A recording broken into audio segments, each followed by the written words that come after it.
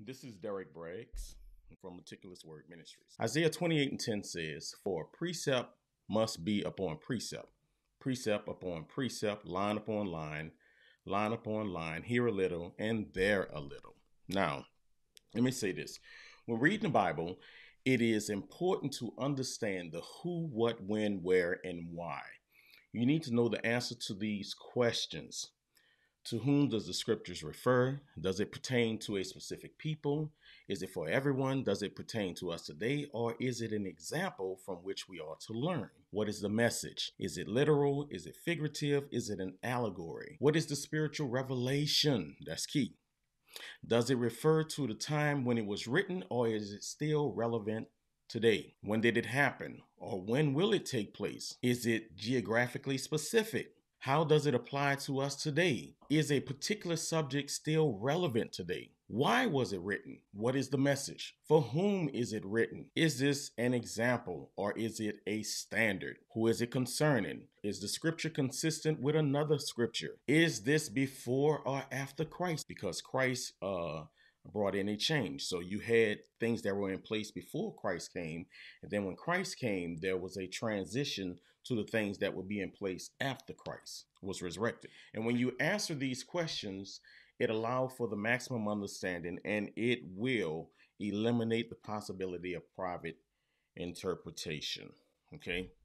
All right, so this is what we're going to do. We're going to break all of these things down so that you can get the proper understanding of Isaiah 28 and 10 because I spoke with somebody who said Isaiah 28 and 10 was a punishment, and therefore it is not a blueprint for you to study the Bible. That everything is in one place. So when you read that chapter, every piece of information should be given in that um, chapter where I'm going to tell you that that is not true. Okay, so let's get into the the, the, the teaching.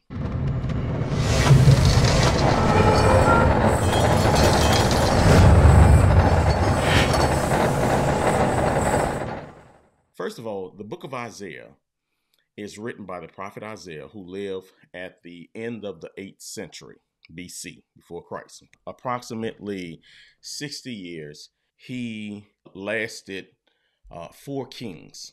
Okay, we find this in, in, in Isaiah 1. Um, now, the book of Isaiah can be divided into three sections, three major sections, three categories, and that will be uh, Chapters 1 through 39 will be Judah being threatened by Assyria. And then from 40 to 55 will be Judah uh, in exile in Babylon. And then chapter 56 through 66 is going to be Judah back in the land. Okay, so when you read in the book of Isaiah, you can break it down into those three categories. Okay, now before we understand who uh, Isaiah is addressing in chapter 28, let me give you the background leading up to this point, and we need to cover the split of the the kingdom, the split of of Israel into the northern kingdom and the southern kingdom. Okay, so First Kings 12 and 19 says, So Israel rebelled against the house of David until this day. And it came to pass when all Israel heard that Jeroboam was come again, that they sent and called him unto the congregation and made him king over all of Israel.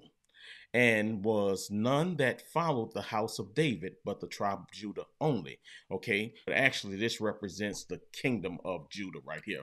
Okay, and was come to Jerusalem. He assembled all the house of Judah with the tribe of Benjamin. See, so it's a, it's the kingdom, and a hundred and fourscore thousand chosen men, which were warriors to fight against the house of Israel to bring the kingdom again to Re- Rehoboam, the son of Solomon. Speak unto Rehoboam and the son of the son of Solomon, king of Judah, unto all the house of Judah and Benjamin. See, and to the remnant of the people, saying, Thus saith the Lord, ye shall not go up nor fight against your brethren, the children of Israel. Okay, return every man into his house for this thing is from me. They hearken therefore to the um, they hearken therefore to the word of the Lord and return to deport according to the word of the Lord. So we're seeing that the division is in place. But Israel, the, the Judah, the southern kingdom, was instructed not to fight against Israel. So when when the split happens, you're going to have the house of Israel is going to be the northern kingdom, and then Judah is going to be the southern kingdom. Okay, but also we're going to find out that uh, Israel, the northern kingdom, had other names that uh, they were referred to by. Okay, and we're gonna I'll, I'll, cover that, so I don't need to tell you now, but I'm just throwing it out there. So listen to this: Judah and Benjamin or in the south. We see that in the scripture. Zechariah 2 and 12 says, And the Lord shall inherit Judah, his portion of the Holy Land, Judah, and shall choose Jerusalem again. Okay, so what we understand by this is when whenever you see Jews, well, not whenever you see Jews, but to a certain point, when, when Jesus said um, that um, salvation is of the Jews, he's talking about the southern kingdom of Judah. Okay, now you're going to get to a point where all of Israel is going to be referred to as uh, Jews, but you just need to understand it depends on when you're reading. I don't have time to break all of that down now. I'm just giving you a basic uh, backdrop. Okay, now having said that, who is Isaiah 28 addressed to? Okay, first it's going to be addressed to Ephraim, the northern kingdom. Okay, all right. So after the split, again, we just broke down the split. Hosea and Isaiah refer to the northern kingdom as Ephraim. So when you whenever you're reading Hosea's writing and Isaiah uh, writing, when they say Ephraim, they actually mean the northern kingdom of, of, of Israel. I'll give you an example, Hosea 4 and 17. Ephraim is joined to idols. Let him alone. This is referring to that northern kingdom. Okay? Because Hosea 5 and 3, I know Ephraim and Israel is not hid from thee, for now, O Ephraim, thou committest whoredom, and Israel is defiled. So just remember that um that basically Hosea and Isaiah was the ones that referred to Ephraim, um, referred to Israel as Ephraim. In Isaiah 28, from the beginning to verse 7, uh, verse 6, Isaiah is addressing the northern kingdom. Okay? All right? But then at verse 7, he begins to address Judah, the priests of Judah, the leaders of Judah. Okay? And the reason why I'm not going to read 1 through 6 is because we I'm focusing on Isaiah 28 and 10. Okay? So watch this. Isaiah 28 and 7 says, But they also have erred through wine and through strong drink are out of the way. The priests and the prophet have erred through strong drink. They are swallowed up of wine. They are out of the way through strong drink. They err in vision. They stumble in judgment. Notice it says the priests and the prophets. Okay are erring in their judgment, their vision. Why are they being addressed? It's because of that error. Okay? Because when we see priests here, okay, let, us let's, let's go here. Priests here, uh, in Israel, the priests are all going to be from Levi. Joshua 13:33, but unto the tribe of Levi Moses gave not any inheritance. The Lord God of Israel was their inheritance, as he said unto them. So when you get to understanding the tithe and how the land was broken down, Levi never received any land because Levi's job was to take care of the house of God, to feed the people. So, in return or exchange for them um, feeding the people, Okay. In exchange for them feeding the people, then they receive the tithes of the land. Okay. All right. So the the priests only come from the tribe of Levi. Now, somebody might say, no, that's not true because uh, the northern kingdom had priests. Okay. So watch this. I don't want you to confuse it with the northern kingdom's attempt. Okay. Second Kings 17 and 32 says, So they feared the Lord and made unto themselves of the lowest of them priests of the high places which sacrifice for them in the houses of the high places. Okay? They feared the Lord and served their own gods. after the manner of the nations whom they carried away from thence. So watch this. What this is saying is what the northern kingdom did is since they didn't have the Levites, they made whoever they wanted to be priests. Now, al- already you can understand that that would be uh, disobedience to God. Okay?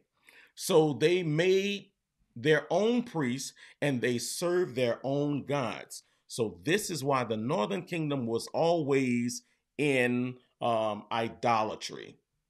And God pretty much was just sending warnings to them hey, you better get it together, better get it together. But Judah, even though the kingdom of Judah was um, disobedient to God, at least they still worshiped in the place where God told them to worship. Where did God tell them to worship? The permanent place was Jerusalem. Okay. Remember, this is why Jesus told the woman, uh, the Samaritan woman, you say that in Jerusalem is where we should worship. She said, but my fathers worship in these mountains. Okay because God said, worship in Jerusalem. And this is where the southern kingdom worshiped. The northern kingdom did not worship in Jerusalem. They created their, their own places to worship. Uh, this is how you end up with synagogues and stuff like that. Okay. Now, where are the priests located? Right? In Second Chronicles 11 and 14, it says, For the Levites left their suburbs and their possession and came to Judah and Jerusalem for Jeroboam and his sons had cast them off from executing the priest's office unto the Lord. Okay, so it's telling you here in Second Chronicles that the Levites went and joined the southern kingdom. Now, after all, you must understand too that the Levites go with the Ark of the Covenant. Okay, they have to work in the house of the Lord, which is at this point in Jerusalem. Okay, Let's understand that. All right. Um, which is in Jerusalem. Okay. Let's get let's go back into Isaiah 28. Verse 8 says, For all tables are full of vomit and filthiness, so that there is no place clean. Okay. Whom shall teach knowledge? And whom shall he make to understand doctrine? Them that are weaned from milk and drawn from breasts. So they're saying that they're saying that this is, you know, like who does this guy think he is? You know, what he's teaching is for babies. Okay? Now, understand this. Again, let me let me let me I'm I'm hammering I'm giving you more than enough information to understand this message. Deuteronomy 10 and 8 says, At the time of the at the time, at that time, the Lord separated the tribe of Levi to bear the ark of the covenant of the Lord to stand before the Lord to minister unto him and to bless his name unto this day. So Levites, the Levites' job was to teach the people, was to feed the people.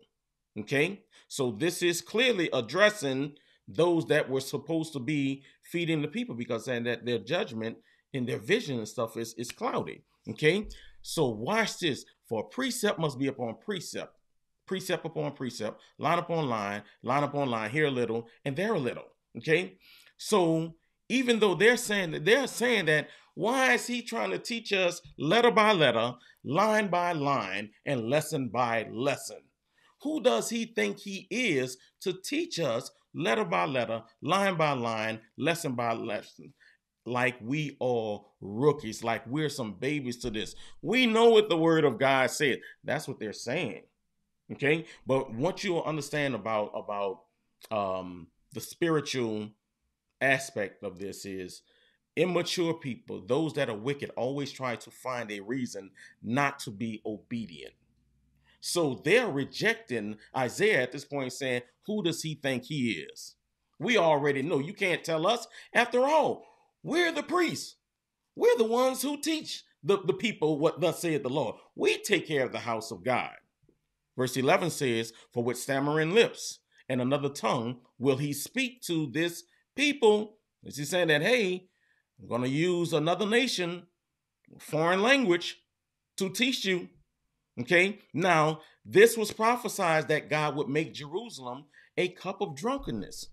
Zechariah 12 Behold, I will make Jerusalem a cup of, of trembling unto all the people round about and they shall be in the siege both against Judah and against Jerusalem. You see, against Judah and Jerusalem, southern kingdom. This is a, a prophecy that was already prophesied against Jerusalem, the southern kingdom, to, against Judah. Okay. To whom he said, we're at verse 12 now, this is the rest wherewith ye may cause the weary to rest. And this is the refreshing, yet they would not hear. So, this is why the Lord is teaching you uh, lesson by lesson. Okay, this is why the Lord is teaching you lesson by lesson. But the word of God, but the word of the Lord was unto them precept upon precept, precept upon precept, line upon line, line upon line, here a little and there a little, that they might go and fall backwards and be broken and snared and taken. Okay, so watch this. Let's pause right here because they're saying that, okay, well, this is a punishment. This is clearly a punishment that God is using this, this technique to punish them. And when we say broken here, it's, it's figurative of men stumbling. Okay. Now, this is a principle of righteousness. Understand this. This is a principle of righteousness. The purpose of the laws of God are always so that we may be guilty before God. I need you to understand that. The purpose of the laws of God, these principles, are that we may be guilty before God. Okay? Romans 3 and 19 says, Now we know that what things soever the law said, it said to them who are under the law, that every mouth may be stopped and all the world may become guilty before God. That's the purpose of the law, so that you'll know that you are not righteous, that you are not perfect, and that according to God, you're nothing. You are guilty according to the word of God. Verse 20 says, Therefore, by the deeds of the law, there shall no flesh be justified in his sight, for by the law is the knowledge of sin. Also, I had not known what sin was, but for the law.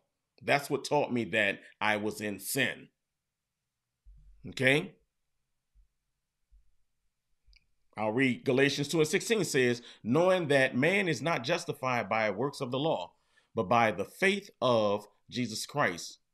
Even we have believed in Christ that we might be justified by the faith of Christ and not by the works of the law, for by the works of the law shall no flesh be justified. So everybody that was under the law was not justified.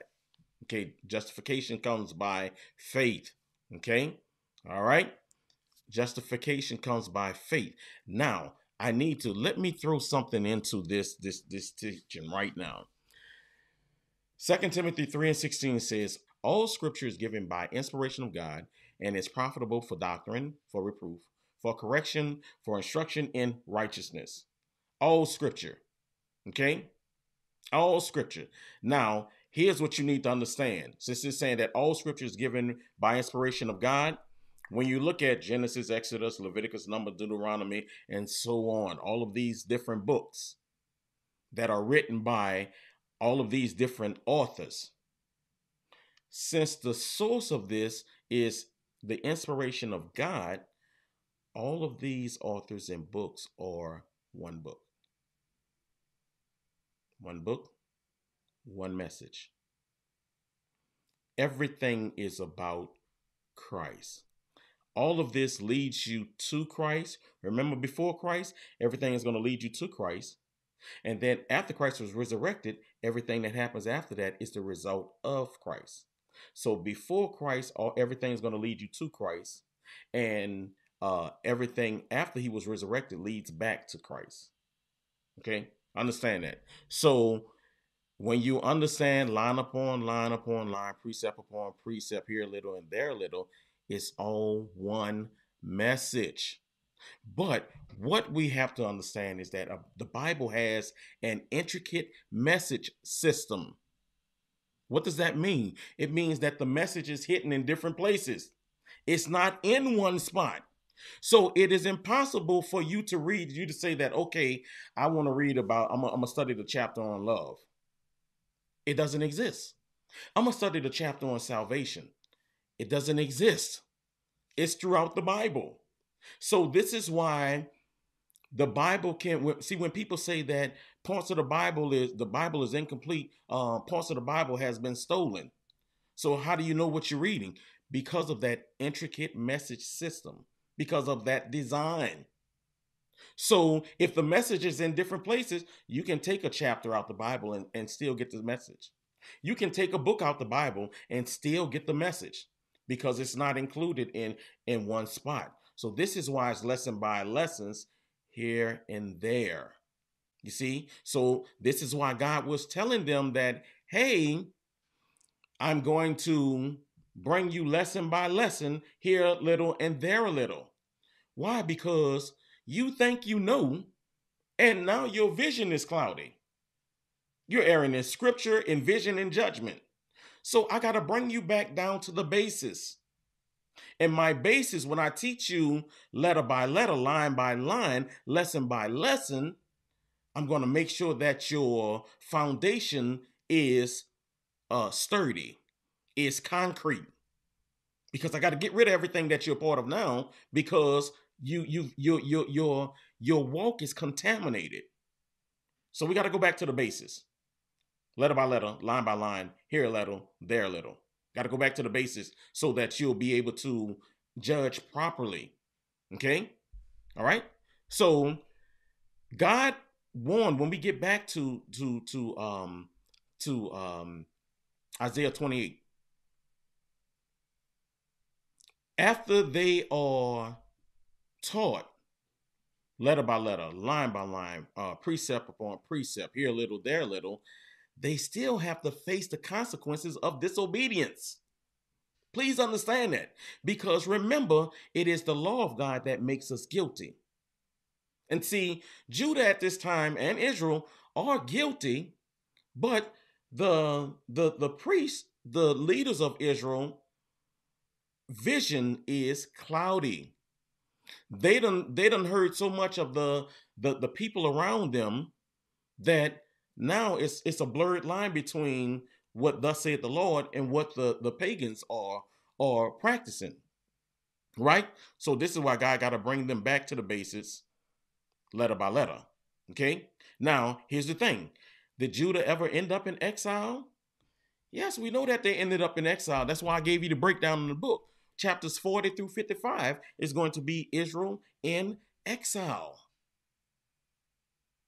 See? And God warned them ahead of time that he would use the Assyrians to execute judgment on Judah for their idolatry.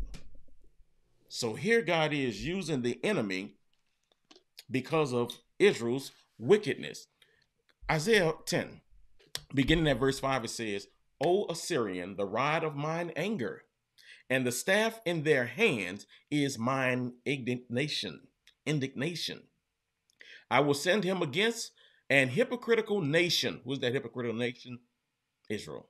And against the people of my wrath will I give him a charge to take the spoil and to take the prey and to tread them down like the mire of the streets. So he's saying that this is my enemy, but I'm going to use my enemy against this hypocritical nation. And they're going to become your spoil.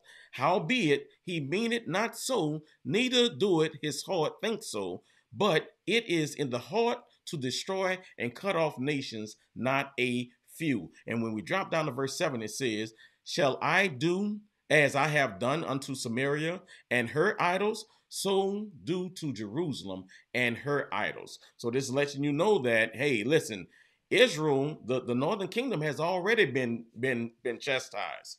She's already fallen. She's already in captivity, already been defeated. Now I got to do the same thing with Jerusalem. Now, as we read verse 14, getting back into Isaiah 28, uh, Isaiah 28, it is not a shift in the targeted audience, but it is a continuation addressing Judah. Verse 14 starts off by saying, Wherefore? See? So, as I was saying, hear the word of the Lord, ye scornful men that rule this people which is in Jerusalem. See, it's talking about the the rulers in Jerusalem. It is clear.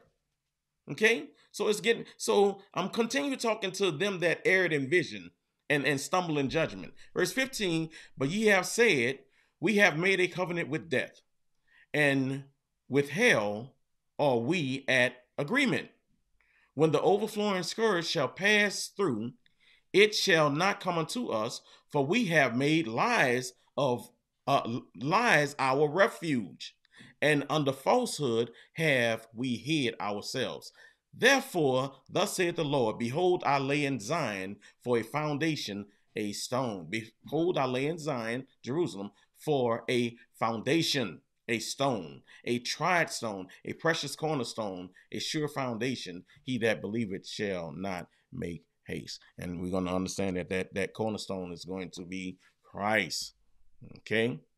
All right. Now, here is the most important part of the passage for precept must be upon precept, precept upon precept, line upon line, line upon line, here a little and there a little. This is the principle of how you study the Bible. You study the similar topics which are scattered throughout the scripture instead of studying chapters by chapter, which may cover different topics. Now, let me help you understand. I'm going to say that again. You do not study the Bible just reading the entire, I'm going to read the, the entire book of, of Genesis. Yeah, it's okay for you to read that, but check this out. There are some things that you're not going to get the revelation just reading in in Genesis. Because there are some things that are in Genesis, the revelation is in the book of Revelation. A lot of things are written in Genesis, you get the connection in Revelation when you're talking about the, the serpent. You don't understand who the serpent is until you get to Revelation. Because Revelation is going to make it, and you know what? I'll go over that. I'll cover that. Let me let me let me get back here. When you when you let's let me let me explain this to you because I hear people say I start at the beginning of the chapter. Okay, well, here's what we understand about the chapter division. Stephen Langton, okay, um, doing uh, uh, he was the the the Archbishop of Canterbury. Okay. Um, he is accredited with dividing the Bible into chapters. Okay. All right, this was around the uh 11 1150 to 1228 somewhere in that that that time is when he divided the Bible into chapters. Okay?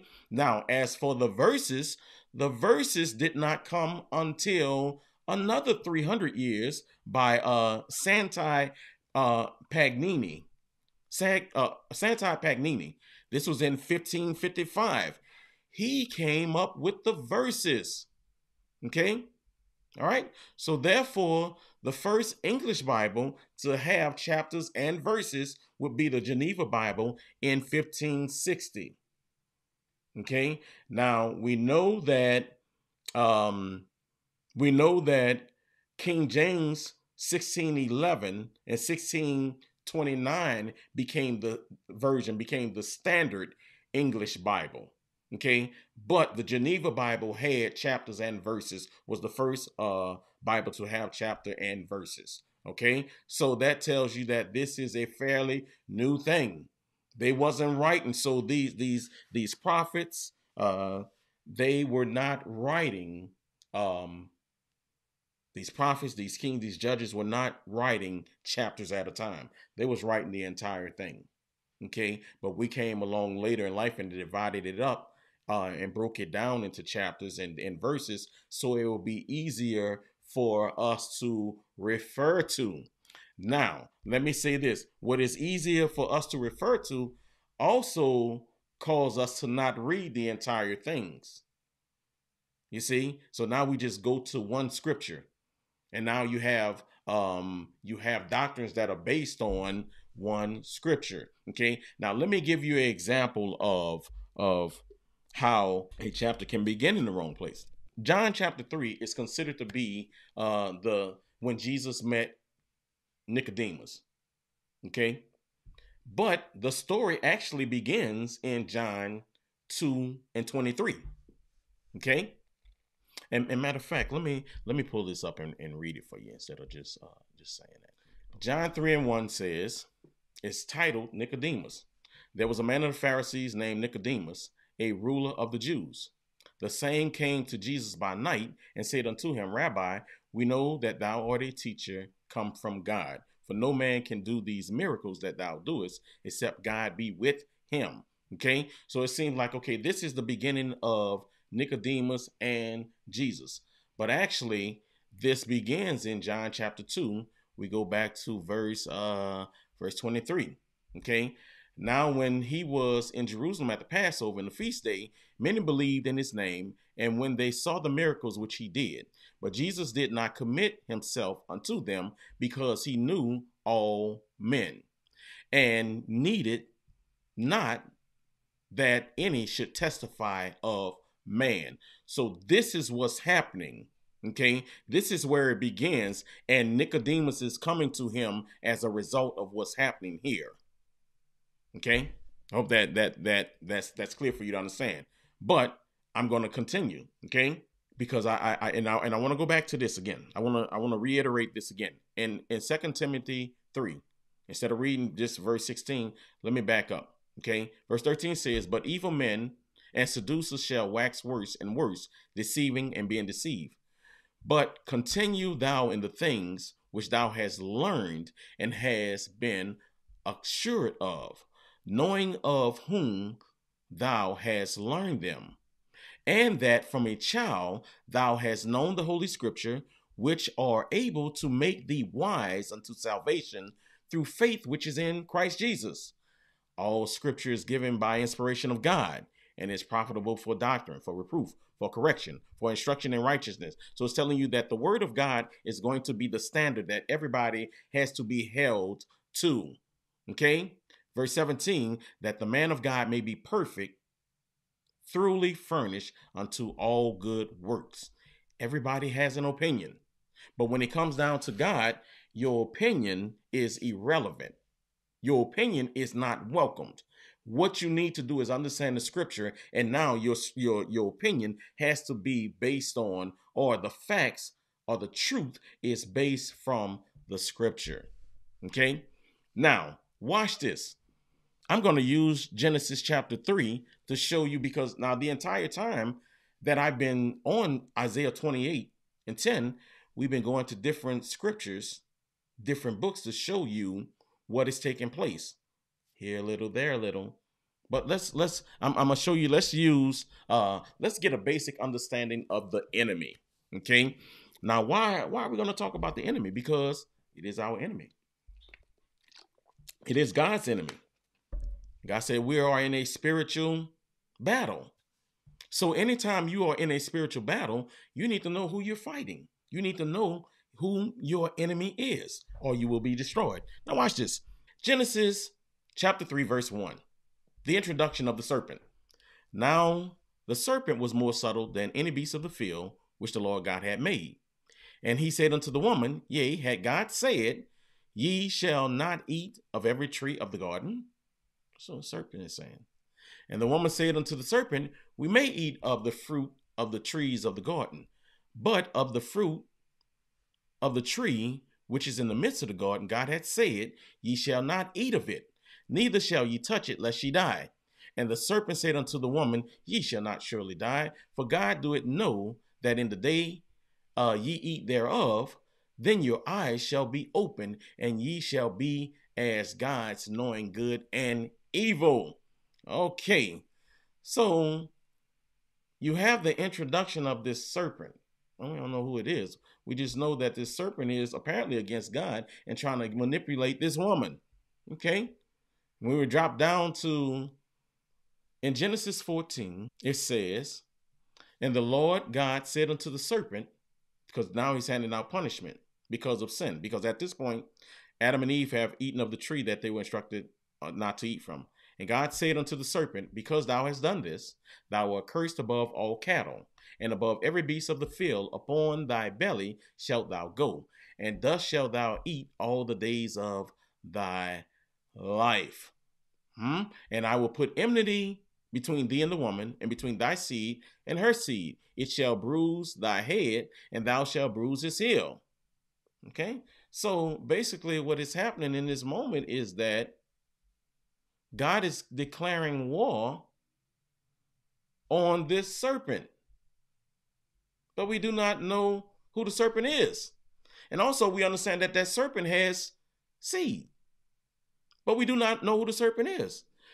So we go to Revelation 12 and 7. And there was war in heaven. Michael and his angels fought against the dragon. And the dragon fought and his angels. Dragon. Okay? But we have no idea that this battle is spiritual. Now I'm going to connect it. Just follow me. We need Ephesians 6, which says, Put on the whole armor of God, that ye may be able to stand against the wiles of the devil. Hmm. For we wrestle not against flesh and blood, but against principalities, against powers, against the rulers of darkness of this world, against spiritual wickedness in high places. Okay, so we're seeing now we saw we saw the serpent, we saw the dragon, we're seeing the devil, but we do not know the identity of the serpent as Satan until we get to Revelation 12 and 9. And the great dragon, remember? And the great dragon was cast out. That old serpent called the devil and Satan. So now in Revelation 12, we get all of those names which deceiveth the whole world. And it says that he deceiveth the whole world. He was cast out into the earth, and his angels were cast out with him. And we understand that he has angels. So he has angels and he has seed. Now, in order, now this says that he was cast out into the earth and his angels were cast out with him. Now you may say, yeah, but in the garden it said the serpent. Hmm? Right? But here it says the serpent. You may say, but uh, that's not enough. Well, let's go to Ezekiel 28 because we need to find out who was in the garden. Okay? Watch this. Ezekiel 28, Son of man, take up lamentation upon the king of Tyrus, and say unto him, Thus saith the Lord God, Thou sealest up the sum, uh, the sum full of wisdom and perfect in beauty. Hmm. Thou hast been in Eden the garden of God. And every precious stone was not covered the sardius, topaz, the diamond, the beryl, the onyx, and jasper, sapphire, the emerald, and the carbuncle, and gold. The workmanship of thy tabrets and of thy pipes was prepared in thee in the day that thou was created. So let's talk about this, this created being. But now he goes on to say, Thou art the anointed cherub that covered. What is a cherub? Angel. So now we're understanding that this angel was in the Garden of Eden. And I have, thou art the anointed cherub that covered, and I have set thee so, thou was upon the holy mountain of God. Thou hast walked up and down in the midst of the stones of fire. Thou was perfect in thy ways from the day that thou was created till iniquity was found in thee. Hmm. But the multitude of thy merchandise, by the multitude of thy merchandise, they have filled the midst of thee with violence, and thou hast sinned. Therefore, I will cast thee as profane out of the mountain of God, and I will destroy thee, O covering cherub, from the midst of the stones of fire. So we know that when we look at the Garden of Eden, it was Adam, it was Eve, it was the serpent. Those were the only three that were in the garden. So now we understand that serpent was Satan. But now we go to Isaiah 14 and we're going to find something else out about the serpent. Isaiah 14 12 says, How art thou fallen from heaven? Remember, that's what was said in Revelation. How art thou fallen from heaven, O Lucifer, son of the morning? How art thou cut, down to the ground, which didst weaken the nations?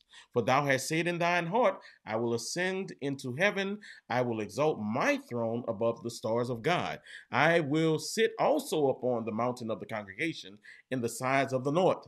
I will ascend above the heights of the clouds. I will be like the Most High. So now we're seeing that this character named Lucifer sinned because iniquity was found in him and he wanted a throne higher than God's throne. But what we're understanding that this Lucifer is going to be the created name of Satan.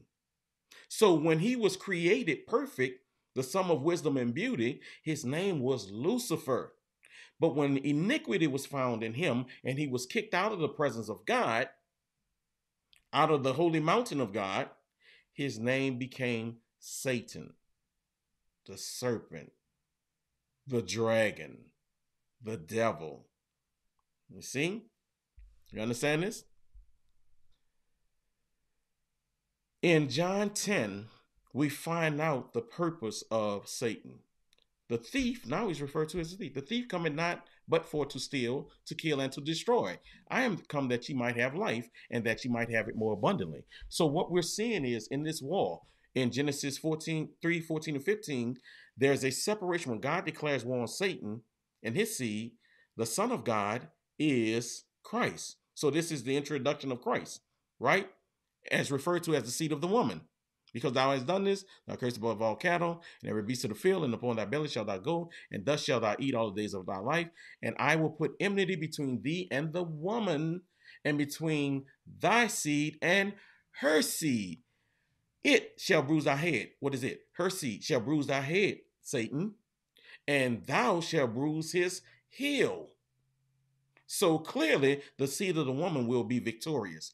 And this will be the theme of the entire Bible from this point. It's going to be about that seed of the woman who will become known as Christ. Okay? So we see that the way the enemy attacks and what he came for to steal, kill, and destroy. Okay? The other thing is when we go back to Genesis 1, we saw that he only wants to say that God is a lie. Because the first thing that he said is, when he showed up talking to Eve, is, had God said, Ye shall not eat of the tree of the garden, of every tree of the garden? Didn't God tell you that you're gonna you can eat of every tree of the garden? That's what he said. And she said, No, he's he said of every tree except the tree of, of the knowledge of good and evil. Uh, if we eat of it, we're gonna die. And he said, Ye shall not surely die. So he's saying God lying. First, he's saying that he's trying to create that doubt. Did God say that? He didn't say that. Ain't not gonna happen to you. You see?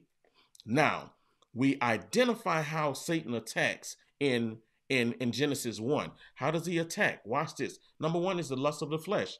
And when the woman saw that the tree was good for food, you see, that created that that that lust of the flesh. She saw it with her eyes.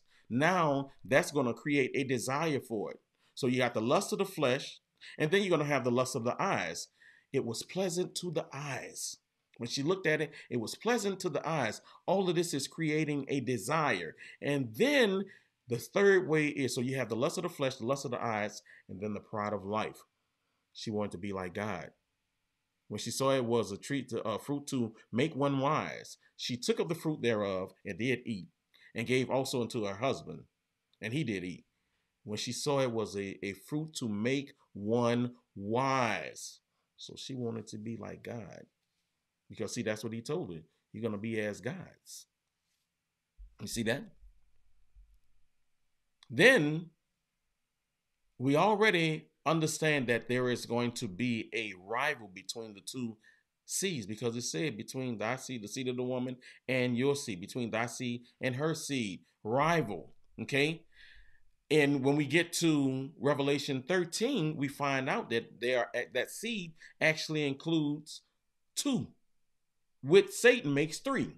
Revelation 13, um, well, actually, if you read Revelation 13, 16, and 17, it'll it'll make this clear. But in Revelation 13, it says, And I stood upon the sand of the sea and saw a beast rise up out of the sea, having seven heads and ten horns, and upon uh, his horns ten crowns, and upon his head the name of blasphemy.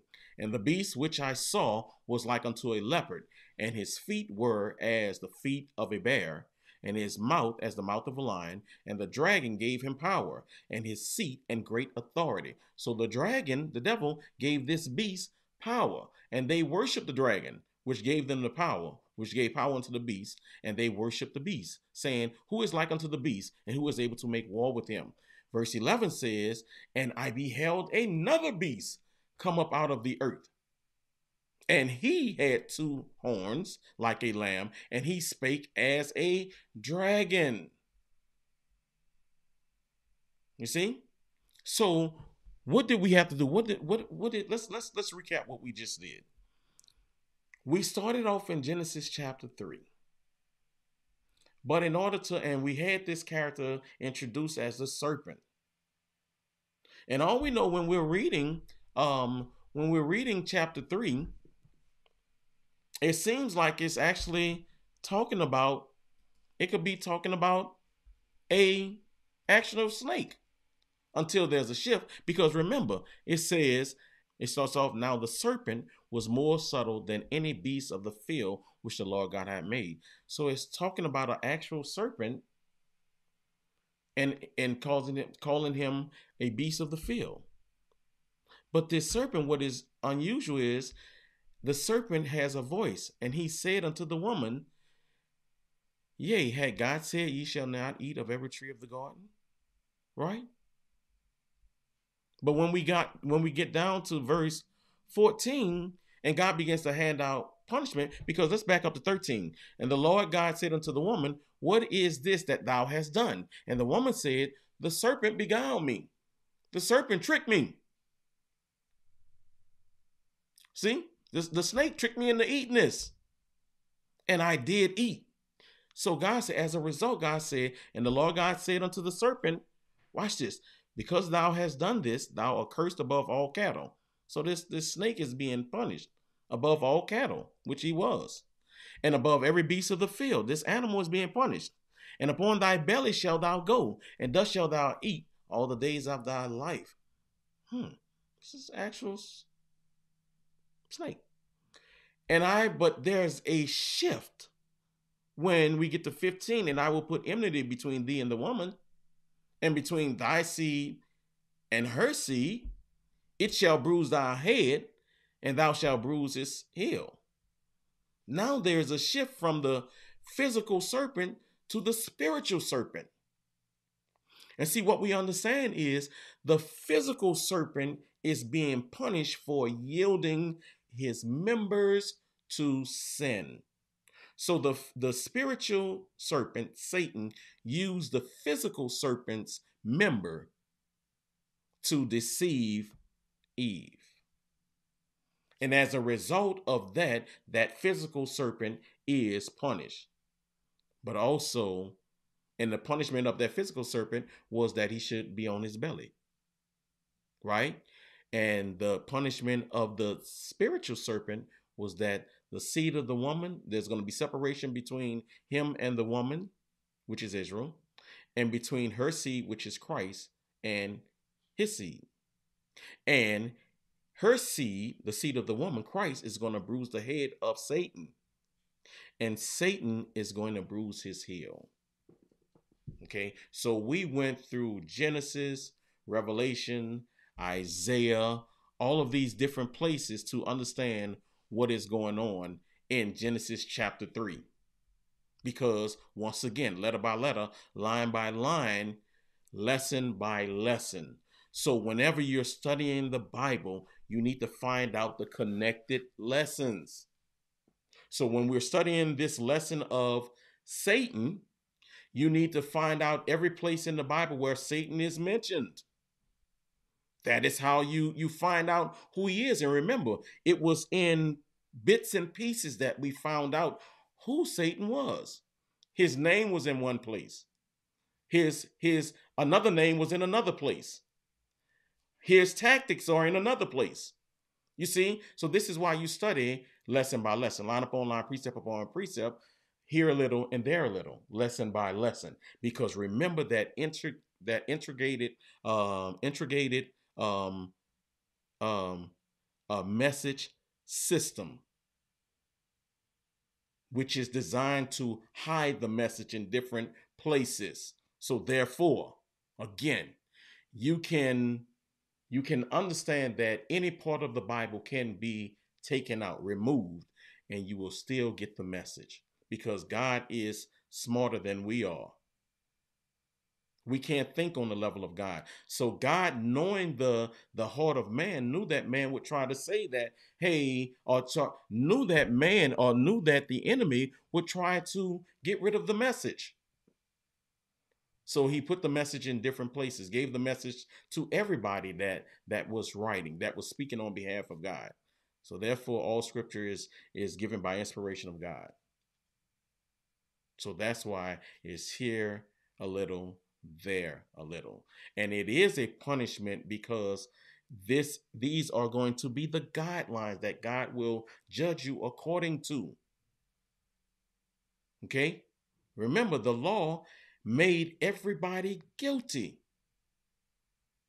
And since everybody is guilty, now you use the law to say that okay, live according to this.